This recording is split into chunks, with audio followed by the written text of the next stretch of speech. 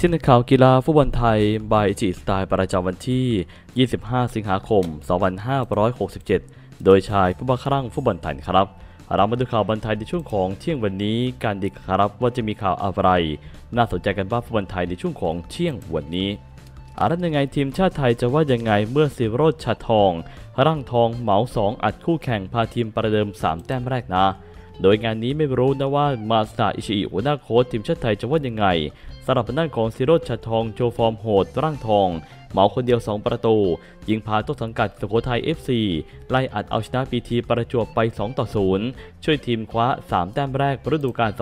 2024โดยฟอร์มโหดแบบนี้มาสตาอิชิอาจจะมีเซอร์ไพรส์ชื่อของสิโรจน์ ฉัตรทองลุยศึก FIFA Day เดือนกันยายนนี้ ดวลกับรัสเซียและก็เวียดนามก็เป็นได้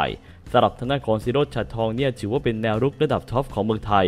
และก็เป็นแกนหลักสำคัญให้กับทางด้านของทีมชาติไทย ในช่วงของยุคของโคซิโก้เกียรติศักดิ์เสนาเมืองในครั้งนี้นั่นครับอ่าผมเป็นแต่ว่างานนี้ต้องรอดูกันต่อไปก็แล้วกันนะครับผมสิโรดล่างทองมาแล้ว ปีโป้สีทองนะจ๊ะ เรามาดูประเด็นข่าวต่อมากันครับอารันยังไงนะผมงานนี้ช้างศึกชุดยู20 ปี ลงฝึกซ้อมต่อเนื่องที่แคมป์บริลัมก่อนจะดยศึกสี่เศร้าในครั้งนี้นะ โดยทีมชาติไทยชุดอยู20 ปีมาแล้ว และลงฝึกซ้อมต่อเนื่องที่บุรีรัมย์แล้ว เตรียมทีมก่อนที่จะลุยศึกสี่เส้าในครั้งนี้ โดยงานนี้ที่บุรีรัมย์ยูไนเต็ดนะฮะแคมป์ช้างศึกทีมชาติไทย รุ่นอายุไม่เกิน 20 ปี ชุดเตรียมทีม แข่งขันฟุตบอลสี่เส้ารายการ Seoul Earth On Us Cup ที่ประเทศเกาหลีใต้ ทีมชาติไทยชุด U20 ปี จะทำการฝึกซ้อมอย่างต่อเนื่อง ที่บุรีรัมย์ยูไนเต็ด Academy จังหวัดบุรีรัมย์ต่อไป ก่อนจะเดินทางไปที่ประเทศเกาหลีใต้ เพื่อจะแข่งขันฟุตบอลสีเศร้าโซเอิร์ธออฟอาร์ตคัพระหว่างวันที่ 28 สิงหาคม ถึงวันที่ 1 กันยายน ที่ประเทศเกาหลีใต้สำหรับการแข่งขันรายการนี้ประกอบไปด้วยทีมชาติไทยชุด U20 ปี เกาหลีใต้ U20 ปี อินโดนีเซียชุด U20 ปี และก็อาร์เจนตินาชุด U20 ปี โดยการแข่งขันจะเป็นการแข่งขันแบบพบกันหมดนะฮะ และก็หาทีมที่มีคะแนนมากที่สุดคว้าแชมป์รายการนี้ไปทั้งนี้การแข่งขันรายการนี้ประกอบไปด้วย ทีมชาติไทย U20 ปี ทีมชาติเกาหลีใต้ 20 ปี อินโดชุด U20 ปี แล้วก็อาร์เจนตินาชุด U20 ปี โดยการแข่งขันจะเป็นการแข่งขันแบบพบกันหมด แล้วก็หาทีมที่มีคะแนนมากที่สุดคว้าแชมป์รายการนี้ไป สำหรับโปรแกรมการแข่งขันของทีมชาติไทยชุด U20 ปี ในรายการดังกล่าวมีดังต่อไปนี้ วันที่ 18 สิงหาคมเวลา 17นาฬิกา30นาทีตามเวลาของประเทศไทย เกาหลีใต้พบกับไทยที่ม็อกดง Main Stadium วันที่ 30 สิงหาคมเวลา14นาฬิกาตามเวลาของประเทศไทย ทีมชาติอินโดพบทีมชาติไทยที่ม็อกดง Main Stadium และวันที่ 1 กันยายนเวลา 14นาฬิกาตามเวลาของประเทศไทย ทีมชาติไทยพบทีมชาติอาร์เจนตินาที่ม็อกดง Main Stadium ในครั้งนี้ เช่นเดียวกันนะ เรามาดูประเด็นข่าวต่อมากันครับ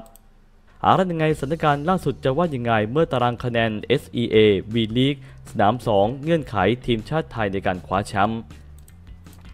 โดยงานนี้ทางด้านของสถานการณ์ล่าสุดนะฮะตารางคะแนน SEA V League สนาม 2 เงื่อนไขทีมชาติไทยในการคว้าแชมป์ในครั้งนี้ เมื่อการแข่งขันวอลเลย์บอลชาย SEA V League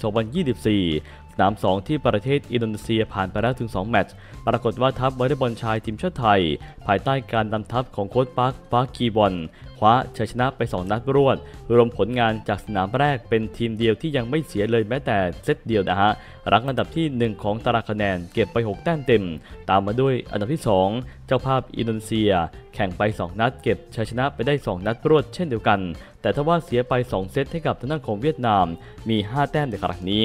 โดยทั้งคู่เนี่ยจะลงสนามพบกันในวันที่ 25 สิงหาคม หากใครเป็นผู้ชนะจะคว้าแชมป์ในครั้งนี้ทันทีสถานการณ์ตารางคะแนน SEA V League 2024 สนาม 2 จะมีดังต่อไปนี้ อันดับที่ 1 ทีมชาติไทยชนะ 2 แพ้ไป 0 มีทั้งหมด 6 แต้ม อันดับ 2 อินโดนีเซียชนะ 2 แพ้ 0 มี 5 แต้ม อันดับ 3 เวียดนามชนะไป 0 แพ้ไป 2 มีทั้งหมด 1 แต้ม อันดับ 4 เป็นฟิลิปปินส์ชนะไป 0 แพ้ไป 2 มีทั้งหมด 0 แต้มในครั้งนี้ เป็นว่างานนี้ก็ต้องรอดูกันต่อไปกันแล้วกันนะฮะ เงื่อนไขที่ว่านี้ไทยจะเข้าเงื่อนไขไหม เรามาดูประเด็นข่าวต่อมากันครับ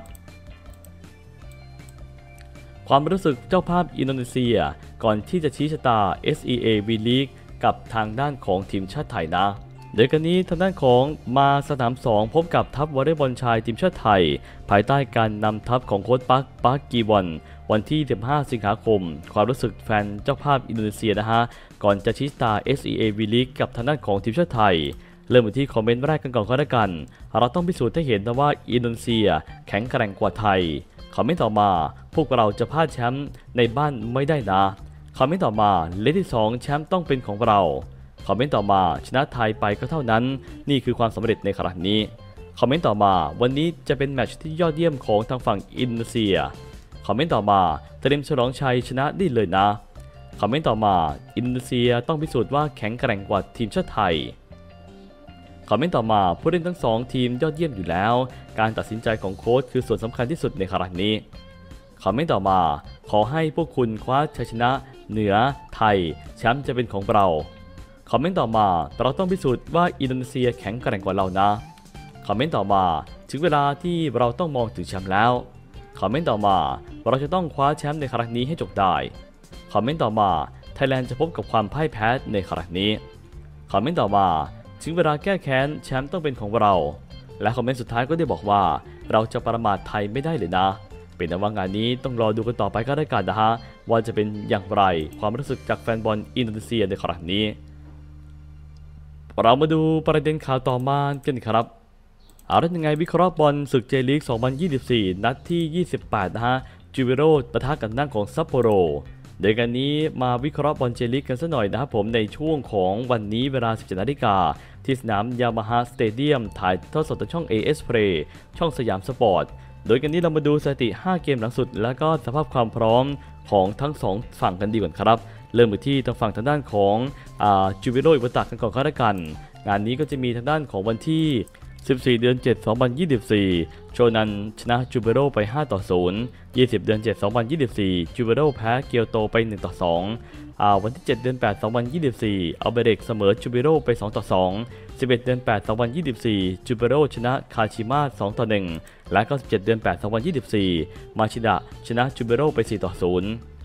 โดยงานนี้จูบิโดอิวาตาทำผลงานเกมล่าสุดบุกไปแพ้บอชดาเซเวียไป 0 ต่อ 4 ส่วนในลีกแข่งไปทั้งหมด 27 นัดนะฮะ ชนะไป 7 เสมอไป 7 แพ้ไปทั้งหมด 13มีทั้งหมด 28 แต้ม รั้งอันดับที่ 18 ของตารางคะแนน ความพร้อมในเกมเกมนี้ อากิโนบุโยโกอุจิกุนซือของจูเบโรอิวาตาเตรียมจะจัดชุดใหญ่ลงสนาม ทั้งไคโตะซูซูกิเรโอโกเมส จอร์ดี้ โครส ริคาโด กราเซีย บรูโนโคเซ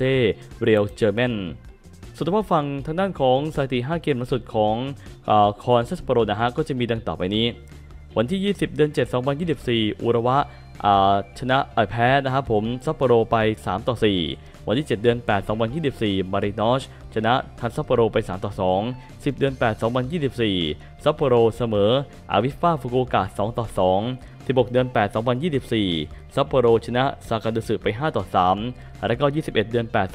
2024 J EF ชนะซัปโปโรไป 1 ต่อ 0